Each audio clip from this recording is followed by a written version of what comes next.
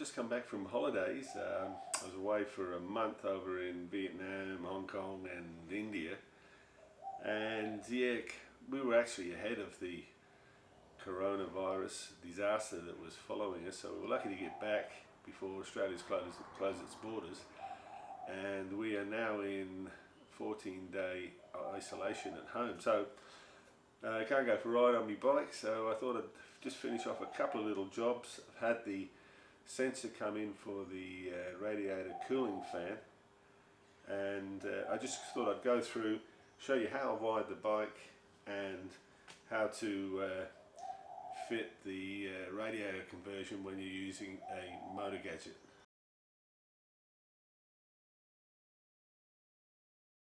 I'm upgrading the, uh, the cooling fan system to an, an electric fan. Now what the guys are using is a electric fan off a Kawasaki ZX6R. Uh, uh, I got mine off YouTube, uh, not YouTube, um, eBay. And uh, yeah, we uh, basically you uh, cut off the camshaft. I've plugged, taken the tacho drive out and plugged that. Okay, here's the Kawasaki ZX6 electric fan. it comes with these lugs on it here, here and here. So all I did was uh, basically cut them off, cut these off and if you get uh, 20 mil diameter by 25 mil long male female rubber buffers available at most bearing shops you can just fit them into the the arm of the uh, of the fan like that. This one I just a little bit need a little bit longer, just have a nut underneath there, but uh, that comes out quite neat.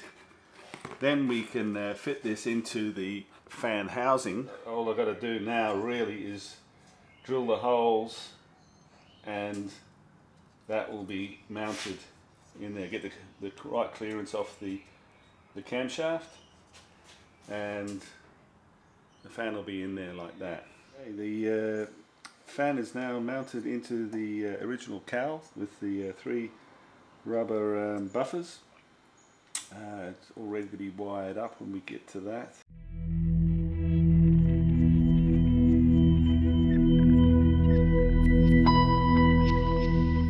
Looking at the hardware in the electric fan circuit, uh, up on handlebars we have a manual switch which is a, a normally open switch. In this circuit the switches don't have to be heavy duty. They can be very very small switches if you if you want to because you're only switching the neutral to the to give an input into the MotoGadget.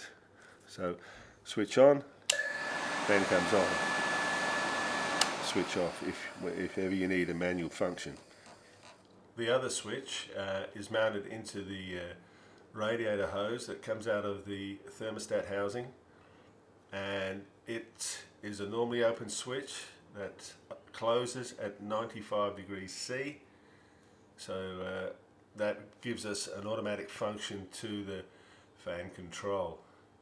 But it is, it is in uh, parallel with the the manual switch. So we have two switches the manual switch and an automatic switch.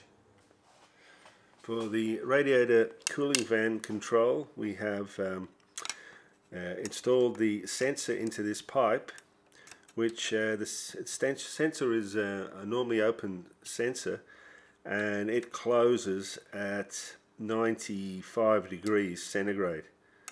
So that's into the, uh, the radiator pipe. Here's the connection down to the fan itself the fan motor Okay, I've got a amp meter on the um, fan motor. I just want to check the amperage that this motor is actually drawing. see it's drawing there 0.3 amp. And the MotoGadget output is capable for 10 amps. So 0.3 amp. Just looking at the inputs and outputs on the um, on the fan circuit we've got um, the input, the green wire coming into auxiliary 1 and the output wire to the motor is on auxiliary 1 there, output. So just click the switch. Auxiliary 1 input comes on. Auxiliary 1 output comes on. Now we're drawing uh, 0.3 of an amp on the motor. This output's capable of 10 amps, within limits. Okay, now I'm just uh, checking the direction of the fan motor. You want the air being sucked through the radiator and out the back of the bike. So let's just check that. See that ribbon is being sucked into the fan.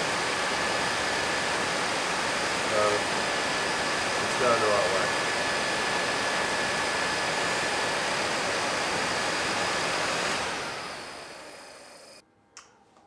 That's it, guys. Uh, and that's it for getting a uh, Kawasaki ZX6R electric fan into a Honda CX500 uh, using MotoGadget. Um, fairly simple circuit, uh, just two, a manual and an automatic switch. Um, it is only switching neutral, your, your out, outputs uh, rated at 10 amps, the motor's drawing 0.3 of an amp. Um, one other thing I should have mentioned is that if you don't want to do the manual switch, you can use auxiliary uh, 2 on the MotoGadget because uh, it does have a, a, function for an electric fan. But the th problem with that is that it comes on virtually straight away and it might switch off, I'm not sure, uh, after the, uh, the motor stopped. Um, but for me, um, I don't really want it coming on when, it, when, it, when it's cold in the morning. You want your motor to warm up to a certain temperature without the fan on and then kick in. So the switch I've got comes in at 95. Uh, the motor's running around about 100 degrees, 105 degrees centigrade. So good luck guys.